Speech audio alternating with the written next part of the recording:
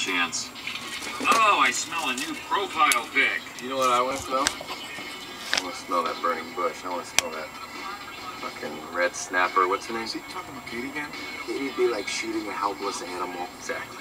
Right. It was a decade-long hard on for the so take it easy. Now, what about the maid of honor? I'll take her down then. Mm, It's not a good idea.